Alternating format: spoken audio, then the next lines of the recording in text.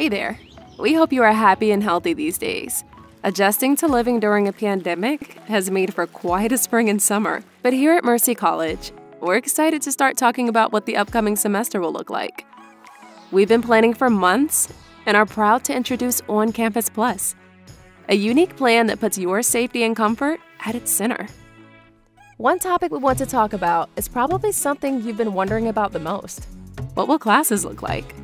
We plan on providing a fantastic learning experience, all while maintaining a safe environment for you and your classmates. So here's the plan.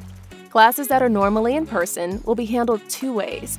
Some will meet entirely online at scheduled times. For others, we're introducing a whole new way of learning. Classes will be held on campus and in person, as we always did, but we will also have new technology installed in our classrooms. This will allow us to live stream many of those classes, so you can learn where you're most comfortable. Additionally, we will be reducing capacity in each classroom.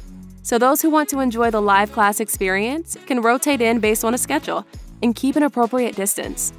And we understand that for certain classes like labs, you may have to come to campus.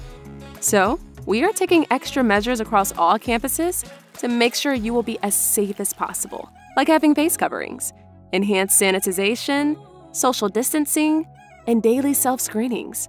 Because at Mercy, you are at the center of our reopening plan. And when you're comfortable, you'll have the best learning experience, preparing you for the future and sunnier days ahead.